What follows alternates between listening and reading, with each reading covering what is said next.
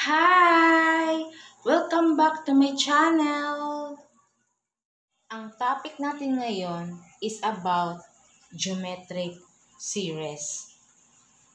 A geometric series is the expression of the sum of the terms of geometric sequence. Ang geometric series, this is the sum of our geometric sequence. To find the sum of the terms in a finite geometric sequence, if r is not equal to 1, we will use the formula s sub n is equal to a sub 1 times r raised to n minus 1 over r minus 1. Let's have some example in finite geometric series. Let us find the sum of the first 8 terms of the sequence 2, 8, 32, 128, and so on. Ang hinahanap natin dito is yung pang 8 terms. In finding the sum of the terms in a finite geometric sequence, if r is not equal to 1, we will use the formula s sub n is equal to a sub 1 times r raised to n minus 1 over r minus 1. Our a sub 1 is 2 and our r is 4. Why 4? Because we divide a sub 2 to a sub 1. And that is 4. And our n is 8. Ito yung hinahanap natin. Then, we have to substitute the data to the formula. S sub n, that is 8, is equal to A sub 1, that is 2, times R, that is 4, raised to n, that is 8, minus 1 over 4 minus 1. Obtain 65,535, i-multiply natin si 4 by itself 8 times. Then, subtract it to 1. And that is 65,535.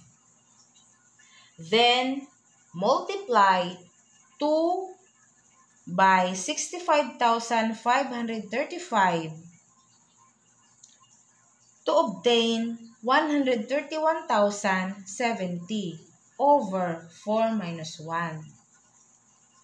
131,070 divide by 3. Why 3? Because we subtract 4 minus 1 and that is 3. Then, we have to divide 131,070 divided by 3 and that is 43,690. Therefore, the sum of the sequence is 43,690. Let us find the sum of the first 15 terms of the sequence. That is 32, 64, 128, and so on. Now, we have to use the formula. S sub n is equal to a sub 1 times r raised to n minus 1 over r minus 1. Our a sub 1 is 32. Our common ratio is 2. Why 2? Because we divide a sub 2 to a sub 1. And that is 2. And our n is 15. Ito yung hinahanap natin. Ang hinahanap natin yung pang 15 terms.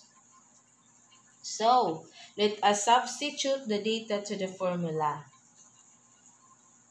S sub n is 15 equal to A sub 1 that is 32 times R that is 2 raised to n, that is 15, minus 1 over 2 minus 1.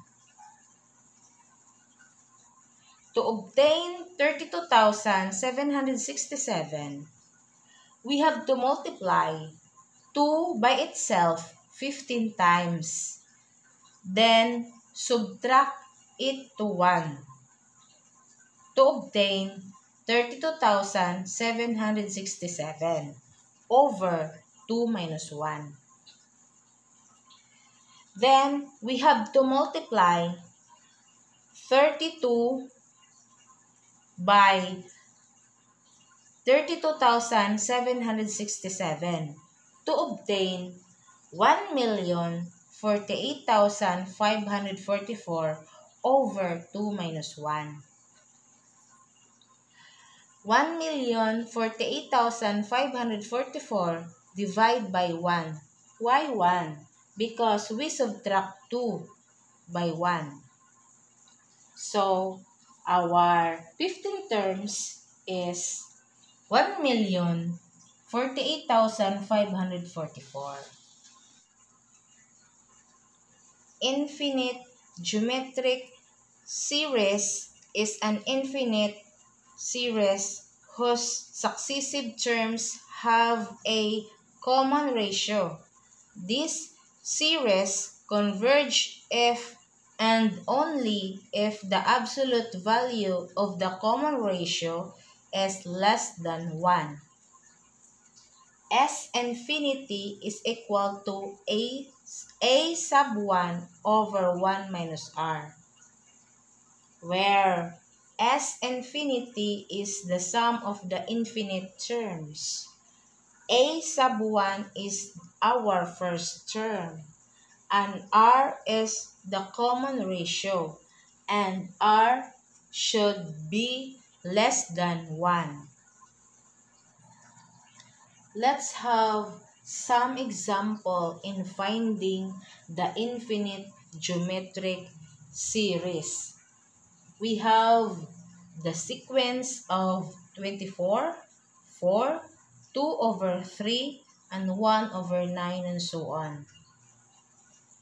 Our formula in finding the infinite geometric series that is S infinity is equal to A sub, A sub 1 over 1 minus R, where S infinity is the sum of the infinite terms. And our A sub 1 is our first term. And our R is our common ratio. And R should be less than to 1. Our A sub 1 is 24. Our R is 0.167. Why 0.167? Because we divide the second term by first term. That is 0.167. Now, we have to substitute the data to the formula. S infinity is equal to A sub 1, that is 24, over 1 minus our common ratio is 0.167. S infinity is equal to 24 over 0.833. Why 0.833? Because we subtract 1 to our common ratio that is 0.167 to obtain 0.833. So, lastly, we have to divide 24 divided by 0.833 and that is 28.8. Therefore, the sum of the sequence is 28.8. Another example in finding the sum of the infinite geometric series. we have a sub 1 that is negative 4 and r is negative 2. Now, in finding the infinite geometric series, we have a formula S infinity equal to A sub 1 over 1 minus R. Then, we have to substitute the data to the formula. S infinity is equal to negative 4 over 1 minus negative 2. Negative 2 is our common ratio. S infinity equal to negative 4 over 3. Why 3? Because we subtract 1 to negative 2. So that is 3. Then, lastly, we have to divide negative 4 divided by 3 and that is negative 1.333.